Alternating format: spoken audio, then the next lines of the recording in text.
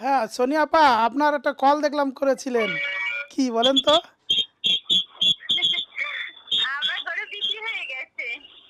তাই কখন বিক্রি হলো?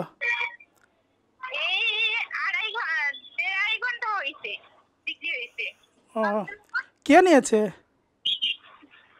আমি চিনি না সঠিক আমি চিনি না যে কে নিয়েছে হ্যাঁ হ্যাঁ তো আমি মানে ট্রাক আনছি ট্রাক আইনে মানে গ- গরু যখন উঠাবো আমি তো উঠানোর আগে একটু খাবার খাওয়াই নিতেছিলাম যে খাবারটা খাওয়াইয়ে তারপর ট্রাকে উঠাবো তো এর ভিতরে তিন চারজন লোক আসছে আইসা তারপর আমাকে জিজ্ঞাসা করছে যে আপনার সাথে ছাড় কথা বলবে তারপরে আমি কথা বলছি কথা বলার পরে আমাকে সে শুধু তো ওইটাই প্রশ্ন এখানে সে জিজ্ঞাসা করছে গরুটার দাম আপনি কত চান? আমি বলছি গরুটার দাম আমি আট লাখ টাকা গরুটার দাম চাই। তো সে বলছে ঠিক আছে আপনাকে আট লাখ টাকাই দেওয়া হবে। আর এক লাখ টাকা আপনাকে আমি খুশি হয়ে দিলাম। মোট নয় লাখ টাকা আমাকে দিচ্ছে। আলহামদুলিল্লাহ। আর আমার ফার্মেই থাকব ওরে আমি আর কোনোদিন কষ্ট ওরেও কষ্ট দেবো না ওরে কোনো বাজারে উঠাবো না। আমিও কখনো আসব না আর ওরেও কখনো আমি বাজারে উঠাবো না। একদম আমি এখান থেকেই বলে গেলাম, আমাকে আর কখনো কোনো চ্যানেলে কোনো কিছুতে পাবেন না। কারণ আমি আর কখনো কোনো দিন ক্যামেরার সামনেও আসব না, আর ওরেও কষ্ট দেবো না, কোনো বাজারেও আমি যাব না। একদম সত্যি কথা। আমার মন থেকে বলতেছি, এত মানে কষ্টের কোনো শেষ নাই। এটা বলারও কোনো মানে নেই। এখানে খাবার দাবার সব কিছুতে সারাদিন একবেলা খাবার খাই খাইতে পারি না এখানে খাবার। কষ্ট হয়েছে। আলহামদুলিল্লাহ আপা শুনে খুব ভালো লাগল।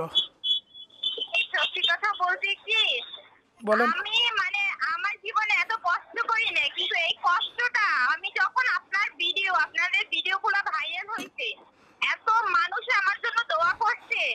সব থেকে বড় কথা গাবতলির মা- গাবতলি বড় মসজিদের ইমাম হ্যাঁ সে জোহরের নামাজের সময় সবাইরে নিয়ে আমার গরুটার জন্য দোয়া করছে যেন আমার গরুটা আমি বিক্রি করতে পারি মানে সে কান্না কইরা দিছে কান্না করতেছে আর বলতেছে তো এমন এমন মানুষ আমার কাছে ফোন দিয়েছে তারা ফোন দিয়ে শুধু কান্নাই করতেছিল যে আপনি কাঁদতেছিলেন ওইটা দেখে ভিতর থেকে কান্না আসছে মানে প্রবাসী ভাইরা সবাই যে এতটা মানে দোয়া করছে আপনাদের সবার দোয়াই আমার গরু বিক্রি হয়ে গেছে সত্যি একদম শ্রেষ্ঠার মতো আমি আল্লাহ মাফ করুক কিন্তু মানে কোথা থেকে কি হয়ে গেছে আমি নিজেও বলতে পারি না এটা কীরকম কি হয়ে গেছে। আপা আপনি এখন কোথায় আছেন? আমি রওনা দিছি। আমার ট্রাক মানে ছাইরা গরু পাঠাই দিয়া আমি রওনা দিয়া বাড়িতে যাইতেছি।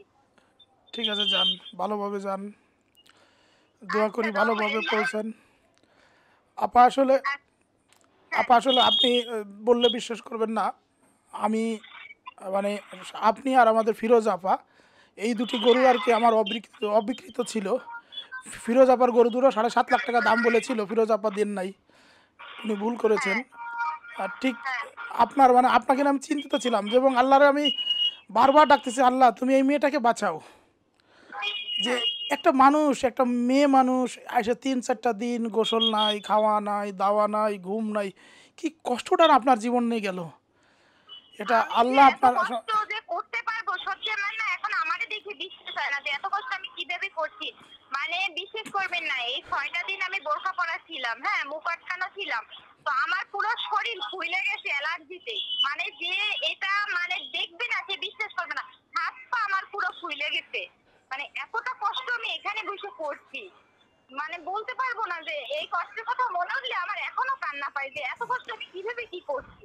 মানে এতটা কষ্ট। কিন্তু সত্যি কথা বলতে কি, আমি টাকা না পাইছি তার থেকেও যে এত মানুষের, আপনাদের, আপনার মতো মানুষ আপনার মতো একটা ভালো মানুষ এরকম আপনাদের মতো সব ভালো মানুষগুলো আমার এত সাপোর্ট দিছে এত দোয়া করছে বিশ্বাস করবেন না আমি অনেক খুশি টাকাটার জন্য না আমি আপনাদের ভালোবাসা পাইয়ে খুশি যেটা সত্যি কথা বলতে না শুনি আপা। বিশেষ করে আপনার গরুটা বিক্রি হওয়ার জন্য সর্বোচ্চ লেভেল পর্যন্ত আমি চেষ্টা করেছি। হ্যাঁ, মানে প্রচুর মানুষকে আমি বসে বসে কালকে রাতের বেলাও আমি একটু ফোন দিয়েছি।